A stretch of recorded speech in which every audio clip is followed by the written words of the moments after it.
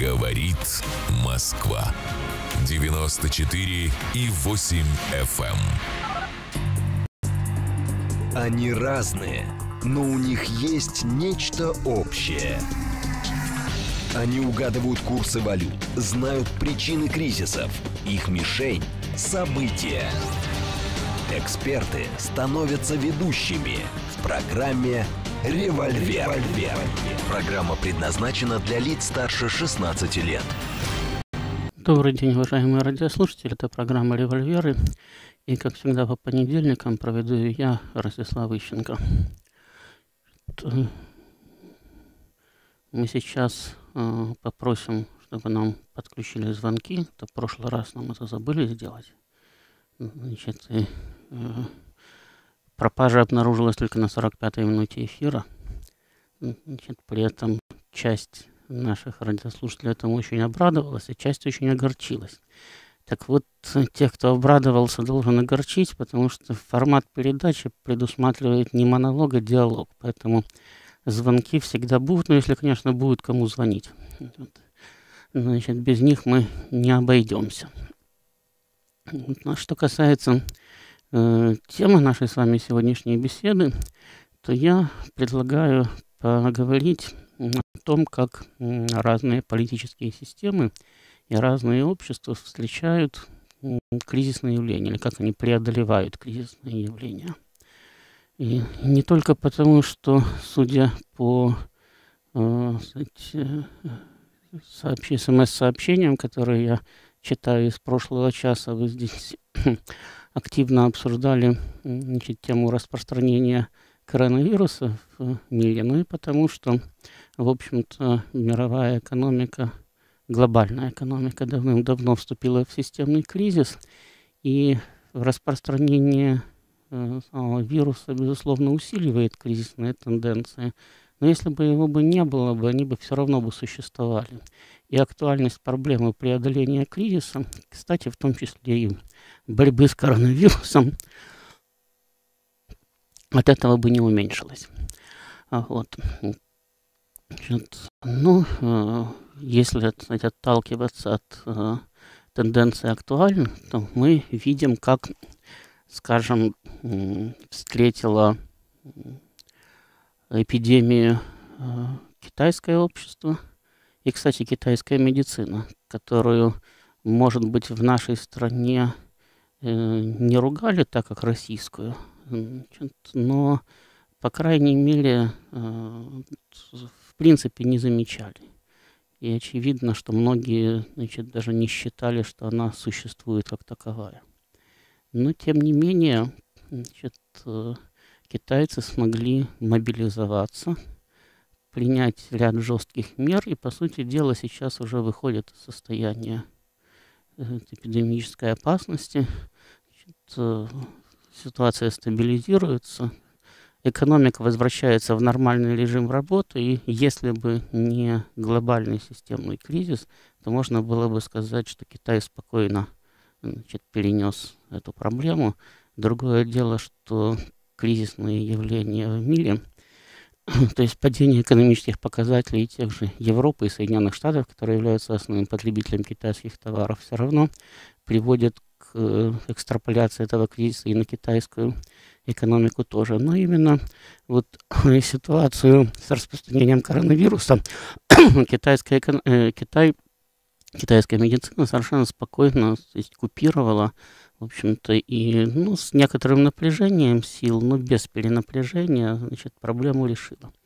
Э, в то же время мы видим, как сейчас в Западной Европе значит, ну, происходит буквально катастрофа. При том, что пока что показатели боль... Э, количества заболевших еще не вышли на пиковые китайские значения, но тем не менее э, медицинская отрасль как таковая уже начинает разваливаться. То есть идут сообщения об э, э отсутствии достаточного количества коек в больницах в э, очагах эпидемии. Значит, э, на полном серьезе уже кстати, начинают э, рассуждать врачи и политики европейских стран о том, что надо сказать, сегрегировать тех, кого необходимо спасти, от тех, кого можно, в общем-то, и не спасать, потому что на всех спасалки уже не хватает там, и так далее. То есть мы видим, что в одном случае э, значит, э, медицина может быть, повторяю, незаметная в таком повседневном проявлении, не пользовавшаяся, скажем, таким спросом, как, например, германская, да, значит, смогла решить поставленную, возникшую перед обществом проблему в интересах, кстати, всего общества. А в другом случае потенциала э, просто не хватило. Несмотря на то, что, кстати, европейские государства принимали примерно такие же меры, когда них принимали китайцы, строгий карантин там, и так далее.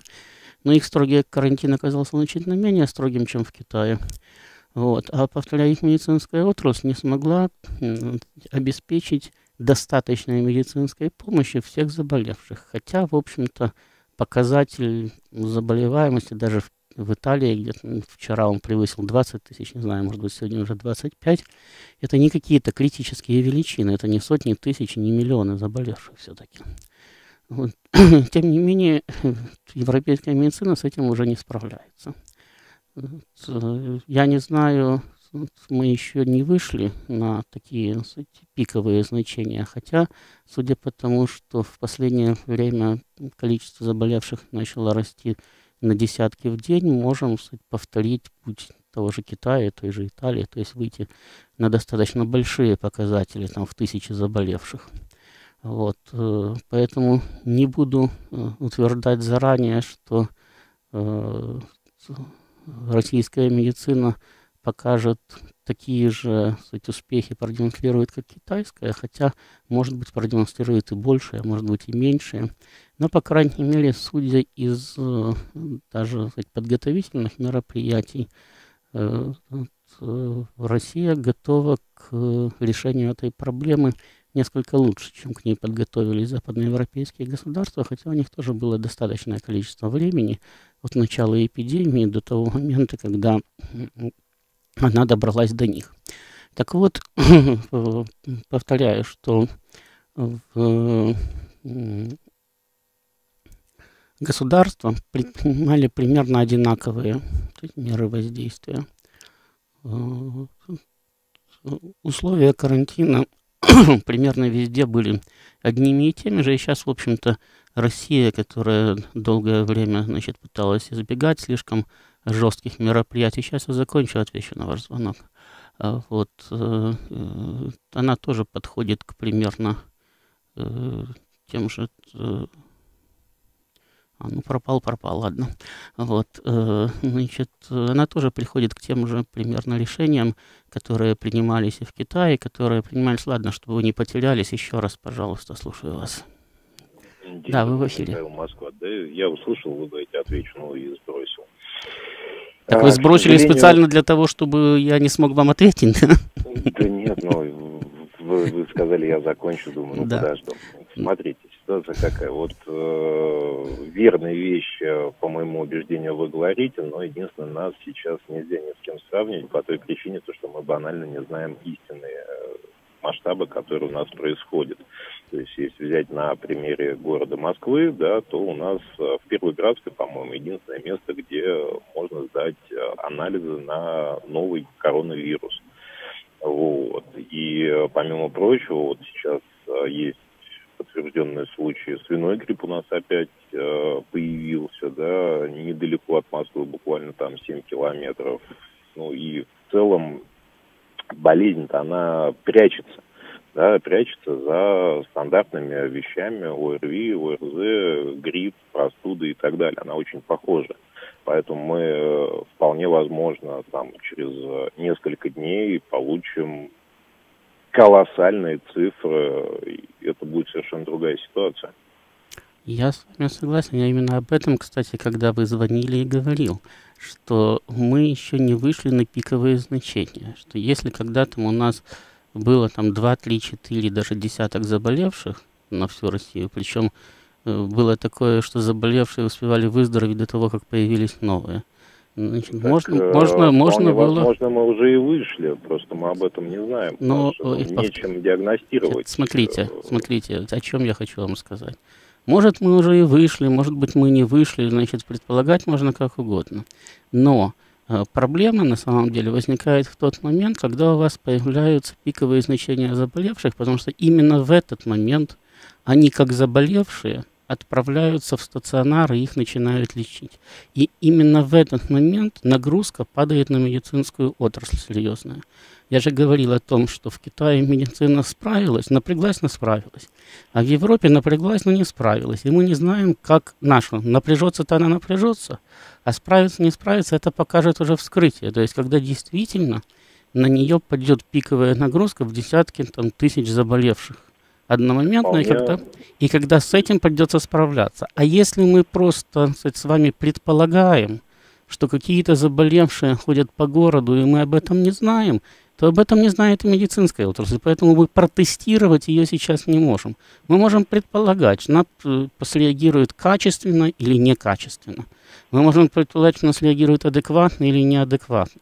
Но мы не знаем точно, потому что только эмпирический опыт да, дает ответ на это.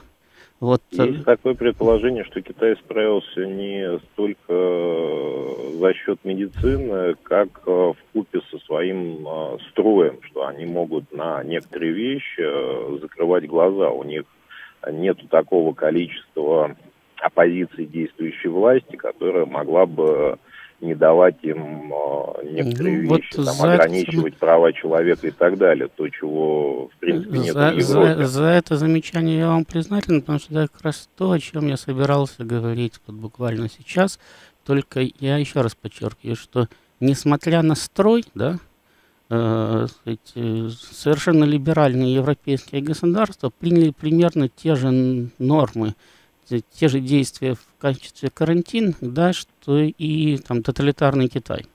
Вот. Но проблема заключается в том, как общество реагирует на эти действия и как оно выполняет или не выполняет эти нормы.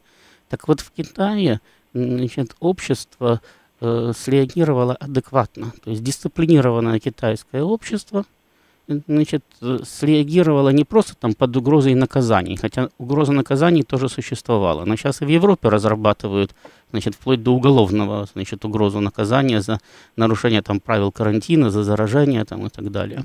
Вот.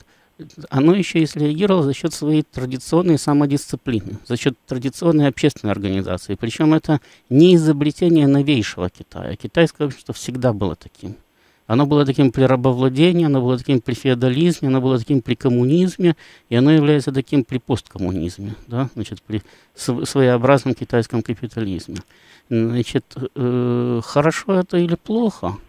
В отдельных случаях хорошо, в отдельных плохо, потому что, с одной стороны, такая общественная организация позволяет на длительных отрезках времени мобилизовываться – и можно там строить десятками эсминцы, значит, можно заасфальтировать весь Китай или даже всю Юго-Восточную Азию, можно много чего сделать в больших объемах и даже в хорошего качества. То есть, вот, например, чего у китайцев не отнять, в отличие от СССР, который при помощи мобилизации добивался только больших объемов, а качество у него хромало, за исключением военно-промышленного комплекса. Значит, Китай добивается еще и хорошего качества. Но чего у Китая нет за счет вот этой вот общественной организации, которая насквозь проникнута дисциплиной и которая просто выполняет приказы. Значит, то есть без приказа, без приказа не шевелится. Так вот, чего у них нету, это э, очень слабый потенциал э, собственного изобретательства. Все, что они сейчас делают, это в основном приобретенные, подаренные или украденные технологии, причем они их хорошо используют, но они их очень слабо развивают. Например, китайцы купили ну, не очень совершенный, да, даже во время своего выпуска, э, советский авианосец. Значит, они его модернизировали, они выпустили уже следующий корабль собственный на базе этих же, да. Они э, планируют выпустить еще два. Но, тем не менее, это э, корабли, которые как были достаточно устаревшими уже во время своего строительства. То есть они были не новыми. Просто Советский Союз еще только учился строить авианосцы. Он шел по пути от э, вертолетоносца, потом через э, корабли, которые несли самолеты с вертикальным взлетом, и до полноценных авианосцев, там, до Ульяновска чуть-чуть не добрались, не успели его построить. Да? Значит, так вот, китайцы делают по-другому. Они просто начинают как пирожки лепить то, что они, ну, сказать, приобрели. И это в некоторых отраслях дает им конкурентные преимущества, а в некоторых отраслях в значительной степени э, тормозит их э, развитие. Но их основное отличие от, от нас в виде Советского Союза заключается в том, то, что они не ограничены железным занавесом либо санкциями, с одной стороны, а с другой стороны их деньги свободно конвертируемы в отличие от рубля. Рубль был бумагой, на которую можно было проесть, пропить, отнести в сберкассу, поэтому а вещь, блага для населения не имело смысла делать, так же, как мы не могли бы их поставлять куда-то, кроме э, стран социалистического строя. Китай же, да, может делать телефоны всем известных марок и завоевывать э, рынки других стран и получать за это деньги, вкладывать деньги опять в развитие и развиваться на э, рельсах экономики, а не только государство вбухло денег в оборону, там что-то получилось. Совершенно правильно. Я, кстати, когда-то говорил, не помню, в этой или передаче, по-моему, в этой, значит, э, о том, что проблема Советского Союза заключалась в его экономической закрытости. Те отрасли, которые имели возможность конкурировать, как в частности ВПК, который должен был в любом случае конкурировать с военно-промышленным комплексом Запада, те развивались эффективно. Те отрасли, которые конкурентов не имели, это практически вся легкая пищевая промышленность, значит, автопром и так далее. Они замирали, потому что собственный рынок был достаточный, он был в любом случае ненасыщенный, и в любом случае покупали все, что было произведено. Неважно, насколько «Жигули» уступали «Мерседесу». Важно, что их все равно приобретали. Я прошу прощения, до нас дозвонился еще один слушатель, мы сейчас ему ответим. Да, слушаю вас. Алло, Добрый вечер, да. Михаил Подмосковье. Я немножко удивлен вот сравнительным анализом дисциплинарного фактора Европы и Китая. Китайское общество, знаете, дисциплинировано только внешне, как нам кажется. На самом деле там продажное все, как и у нас. И вот смотрите, вот этот фактор развития Китая, ну, наверное, благотворный для общей экономики мировой за последние 30 лет – вот все-таки дисциплина как-то связана с какой-то внутренней моралью по отношению к природе. Но более страшной загаженности, чем китайская территория, имеется в виду вот экологическом смысле, просто в мире больше ничего нет. Все-таки западный, вот я сейчас, э, у меня многие мои приятели живут в Испании, в Италии. Вот знаете, общество очень четко выполняет указания правительства. Вот люди по двору ходят, никуда не выезжают, аэропорты закрыты, маленькие, я имею в малая, авиация в Испании. В магазинах действительно, не знаю, как сегодня, но вот вчера, позавчера просто выметено все. Поэтому дисциплина, все-таки этика протестантская на протяжении, потом социальной гарантии выше в Европе. Поэтому, когда мы говорим, что Китай это дисциплина, это не совсем так. Понимаете, там за деньги и в том числе касается и нашей границы, можно все что угодно. Китайцы, для китайца деньги, взятка – это все. Ну, давайте вот я говорю такие вещи, пусть меня кто-то опровергнет. И дальше. Но мы же не знаем, что будет с этим вирусом. Пока говорить, что все нормально, как бы я бы не решился. Но самое страшное другое. Самое страшное, что мы видим у нас. 68 э, заболевших – и ни одной смерти. А ради чего тогда такая, такое напряжение? Вот это вранье власти, оно уже достало. Понимаете? Ну не может быть, чтобы эти меры предпринимались при 68 заболевших и отсутствии ни единой смерти. Ну, давайте вот об этом говорить а не о том, кто дисциплинированный итальянцы. Спасибо, сп- спасибо большое. Значит, давайте поговорим об этом.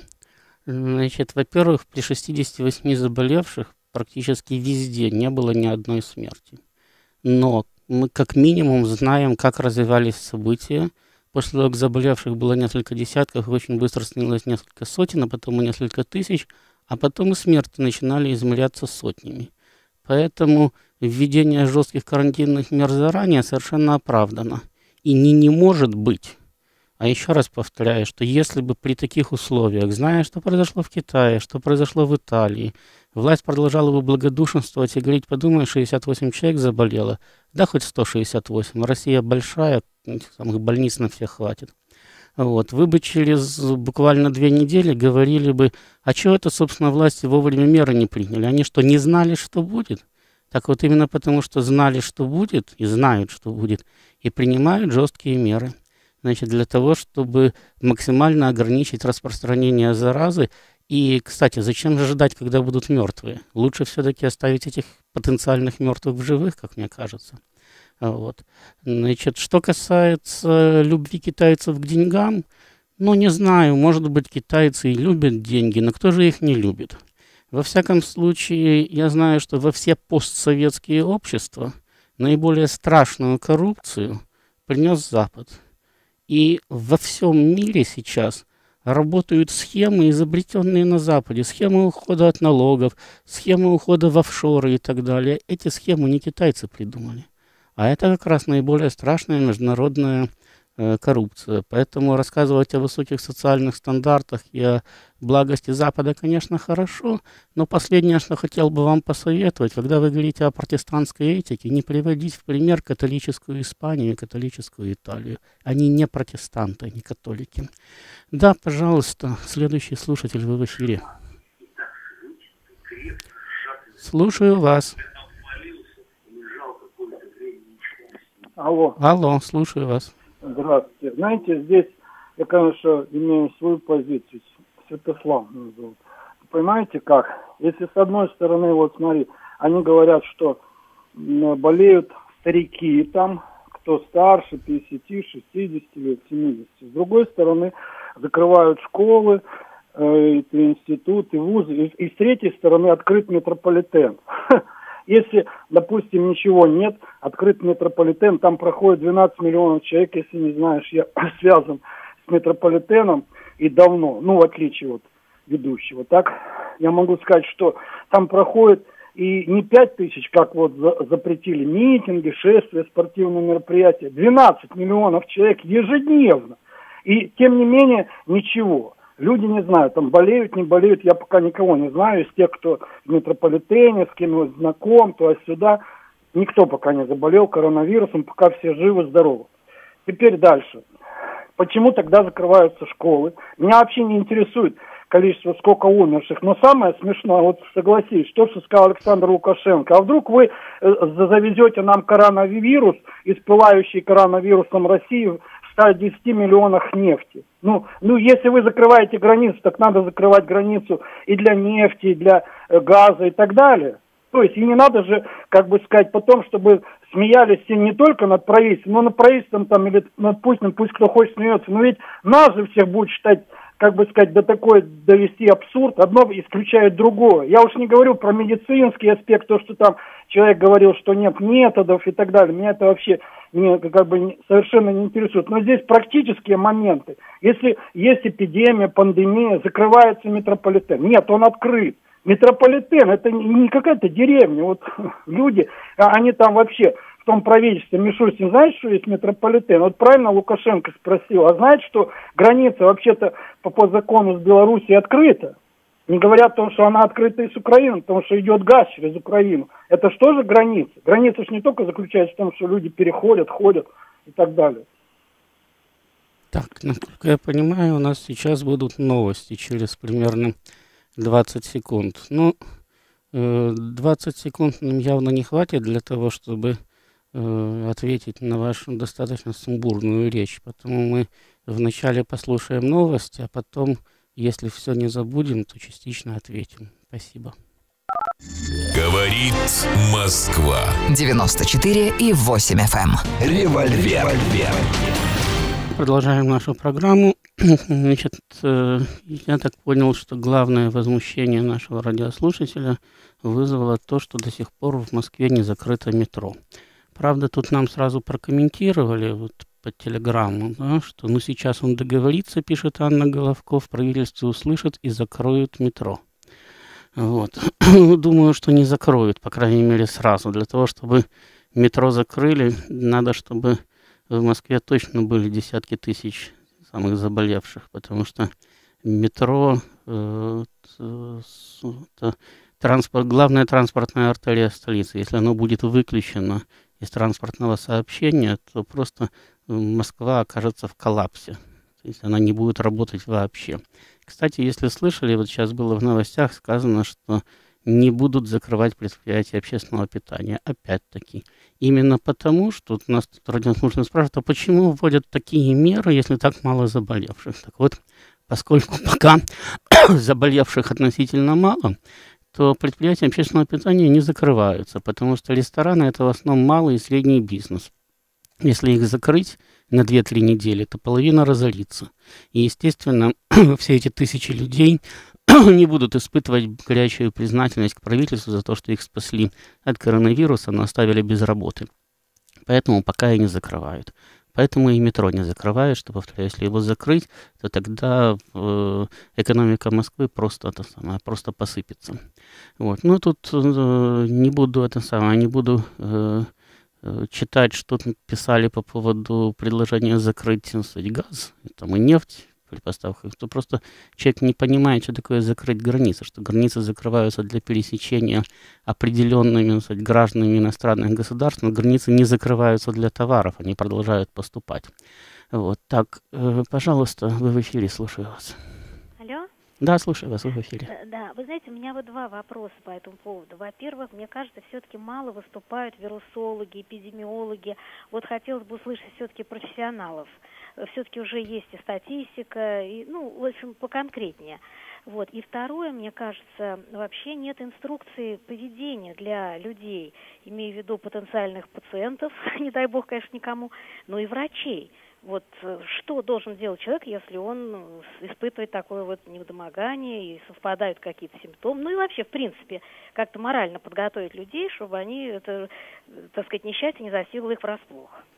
Вы знаете, ну, это, конечно, субъективное восприятие, а, но э, я, в общем-то, очень мало смотрю телевизор, чтобы сказать, вообще не смотрю. Там, ну, периодически прощелкиваю все программы, там, иногда останавливаюсь на каких-то новостях.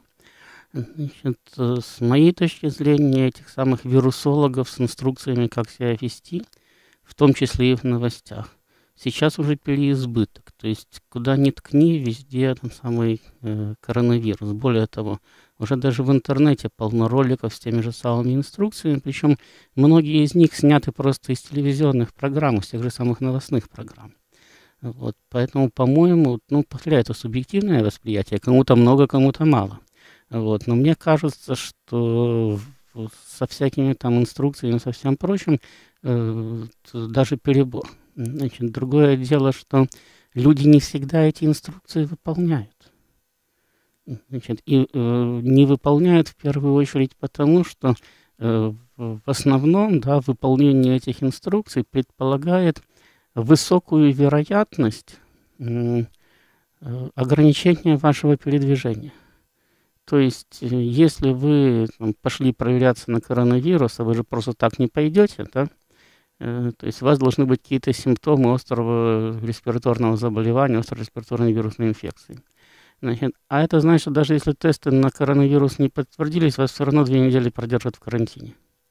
Значит, э, соответственно, народ, э, ну, я понимаю, что две недели в карантине существенным образом ломают планы любого человека, и поэтому далеко не все испытывают сказать, желание значит, там, звонить по всякого рода горячим линиям, там, вызывать врачей, проверяться там, и так далее и тому подобное. Значит, поэтому зачастую просто люди эти самые инструкции не выполняют. А так, э, это, в общем-то, самая простая да, инструкция, которая постоянно говорят, что если вы обнаружили у себя э, признаки э, вирусной инфекции, вызывайте врача на дом. Там, если нельзя вызвать участкового терапевта, вызывайте скорую помощь да, они уже будут ставить кстати, диагнозы, решать вопрос с необходимостью проведения тестов на коронавирус и с необходимостью э, госпитализации. Есть или нету такой.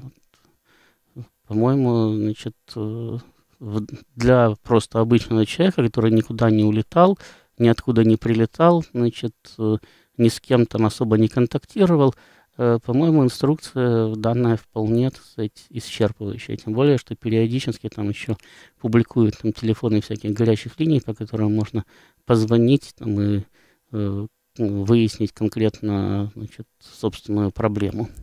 Так, спасибо. Э, следующий звонок. Слушаю вас, вы в эфире. А, здравствуйте, Сергей Москва. Добрый а, день, Сергей.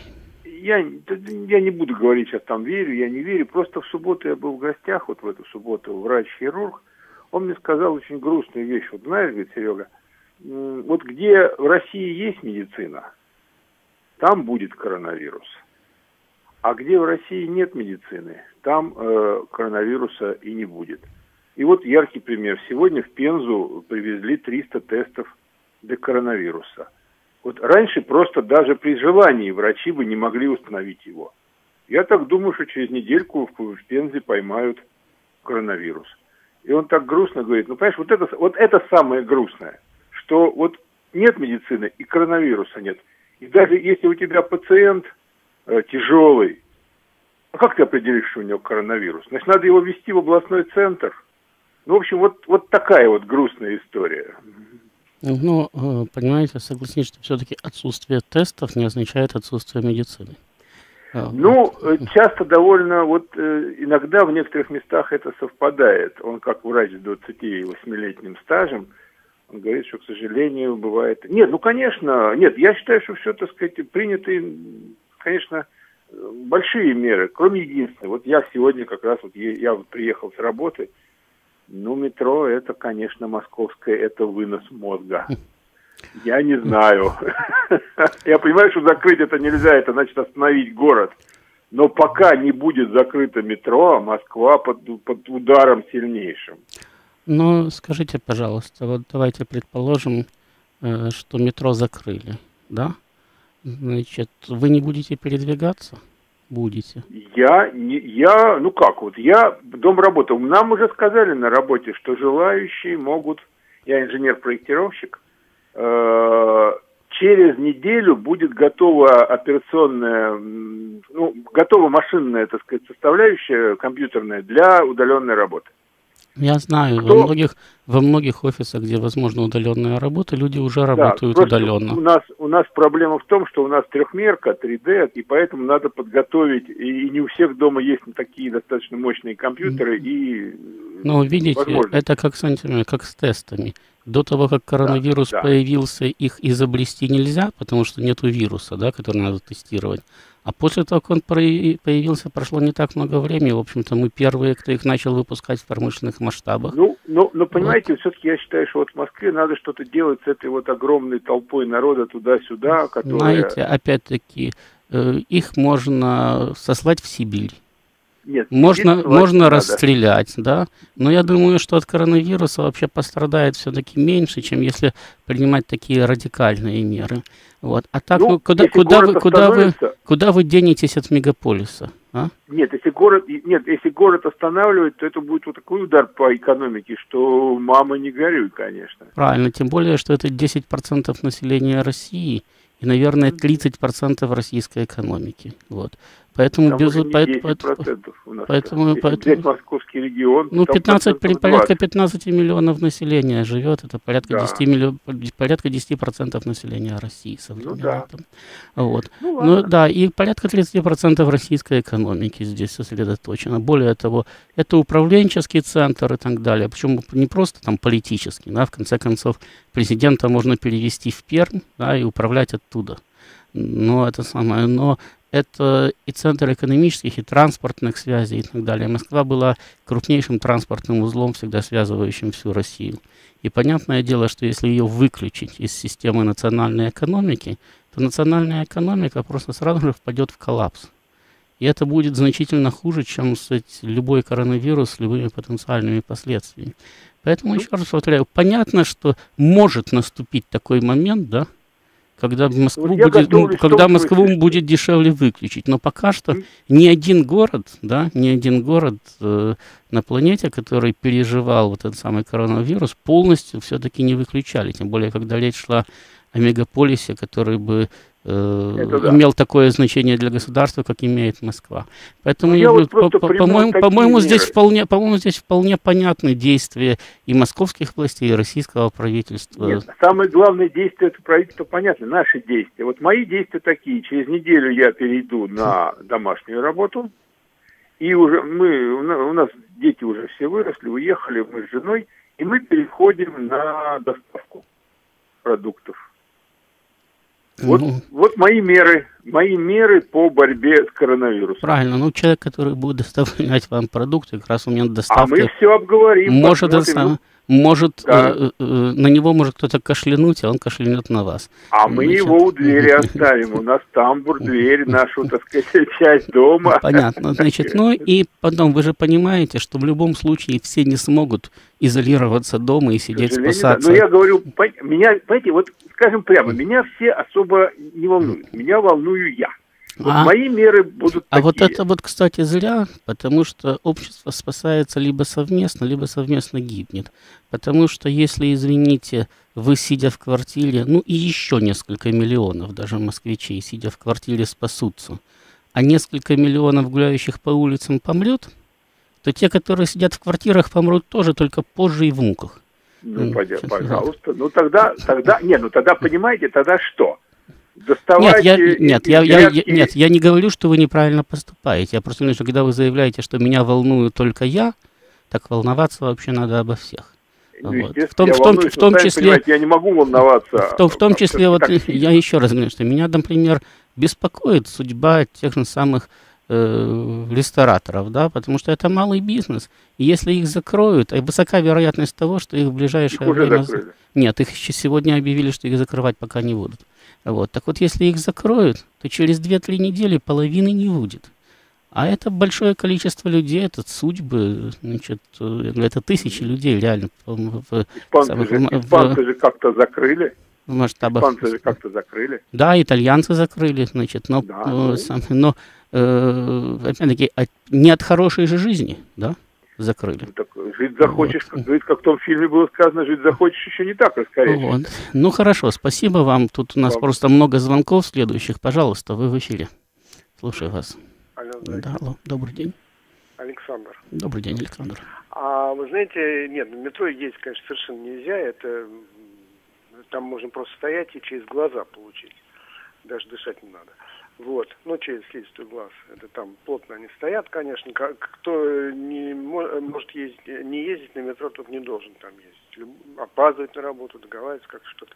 Вот, но никак не. Александр, я с вами согласен, поскольку я езжу в метро, если там будет меньше людей, мне будет просторнее. Вот. И а вот я бы обратил еще внимание вот на церкви. Там есть в сети, ну и там рассказывали, в Ленинград, ну, в Петербург привезли это сам мощь там кого-то, и сейчас все его там целуют. Вот в церкви они целуют э, иконы. Вот чем дальше распространяется вот эта вот паника, тем больше они целуют эти э, иконы, а там, значит, мощь. Это ужасное распространение вируса тогда пойдет. Вы знаете, это не зависит от паники. В Москву, в Москву привозили мощи без всякого вируса, и очереди для того, чтобы приложиться к ним, стояли на несколько километров. Это во-первых. Ну, а теперь они еще больше э, озадачены э, Боль, больше, больше или меньше, но вы не можете ограничить людей в праве отправлять свои... Сказать, э... Это да, но целовать им надо запретить.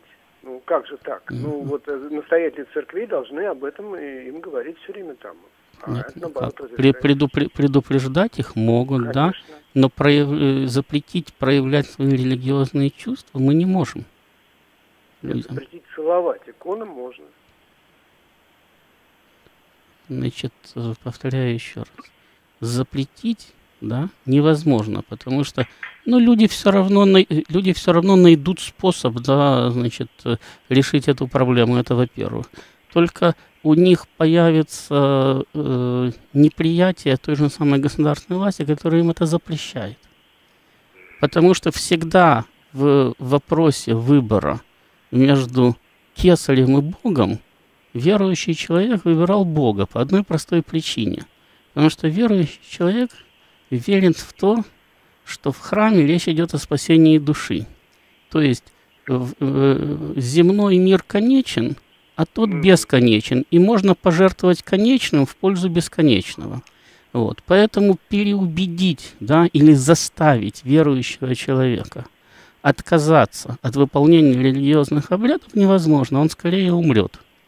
Значит, соответственно, создавать, создавать на фоне и без того э, сложной обстановки еще и социальную нестабильность, да, вы что, по этим самым, по храмам войска разошлете, что вы под каждой иконой, вы в храме были, знаете, сколько там икон висит? Под каждой иконой полицейского или солдата поставить армии не хватит. Да не, ну понятно. Но я имел в виду, что просто надо батюшкам сказать, чтобы они к верующим обращались, чтобы... Значит, батюшки действуют тоже на основании своего внутреннего убеждения. Знаете, как следователь, да, который принимает решение виновного или невиновного на основании своего внутреннего убеждения. Вот один батюшка может сказать, что не надо целовать иконы сейчас, да, не надо. Запретить не может, посоветовать может. А другой батюшка может сказать, что наоборот, надо чаще прикладываться к иконам, и ничего вы здесь не сделаете. Поэтому эту тему можно обсуждать, можно не обсуждать, надо просто понять, что все равно будет так. Так, спасибо. Я не знаю, насколько звонков мы еще успеем ответить, но, пожалуйста, вот вы в эфире, слушаю вас. А, добрый день. Добрый день. Игорь. Я уважительно отношусь и к господам ведущим, и звонящим. Но вот предыдущий звонивший, он сам нагнетает обстановку, истерию. Вот когда у нас просто идет эпидемия гриппа, никто же не звонит на радио и не говорит, что батюшка должен запретить э, преклоняться и целовать эту икону. Ну, уже абсурд просто. Но Давайте как-то вы зна... Значит, вы знаете, я бы не сказал, что в данном случае человек нагнетает и он выражает свое обеспокоенность, да, и опять-таки он не просто так беспокоится, а ему уже сообщили в новостях, что по, поводу, что по этому поводу стоит беспокоиться, да. Значит, другое дело, что меня вот в данных ситуациях всегда коробят, так говорят, надо запретить там, да, или надо, чтобы кто-то там сказал, что этого делать нельзя и так далее. Значит, то есть, если я считаю, что это неправильно, то надо немедленно ввести запрет на соответствующие действия. А в принципе, всегда надо сказать, разбираться, где запрет может быть действенен, а где запрет приведет только к худшей ситуации, чем была до введения этого самого запрета. Так вот, я еще раз говорю, что просто религия это дело слишком тонкое для того, чтобы туда лезть грубыми государственными руками. Потому что нормативной базой государства э, регулировать религиозные вопросы практически невозможно. Значит, Совершенно с вами вот, соглашусь. Вот, по, по, по, по, поэтому, поэтому не следует, э, туда, не следует вообще брать на себя государство такую ответственность. Так, спасибо. Может, еще на один звонок успеем ответить. Да, пожалуйста, слушаю вас в эфире. Алло. А, добрый день. Добрый день. Скажите, а вот почему бы не сделать элементарную вещь? Не поставить во всех общественных местах синие лампы, которые так же, как в больнице, работают в присутствии людей? Есть, ну, я не думаю, не надо вам объяснять, что есть разные синие лампы. Одни э, в отсутствии людей, другие в присутствии людей, животных и прочее. Почему бы не сделать этого? Я не знаю, я не знаю, школах, чем это самое. В школах, общепите, даже метро. Да, не знаю, чем там помогают синие лампы, да, но я, во всяком случае, видел в нескольких местах, значит, э, такие значит, агрегатики, которые действительно испускают такой синеватый цвет, наверное, вы именно их и, и имеете в виду. Значит, ну, я так понимаю, что опять-таки э, всего на всех всегда не хватает. Поэтому нельзя поставить абсолютно во всех общественных местах, да, э, значит, по крайней мере, надо э, значит, закупить, создать, развести там и так далее. Значит, вот э, даже, казалось бы, самое простое э, советуют во всех местах, да, там на входе в учреждение просто поставить э, средство дезинфекции рук. Но далеко не везде это получается. Так, больше мы, к сожалению, ни на что ответить не успеваем. Я вынужден с вами попрощаться и до новых встреч. Спасибо за эфир. Говорит Говорит Москва. 94 и 8 FM.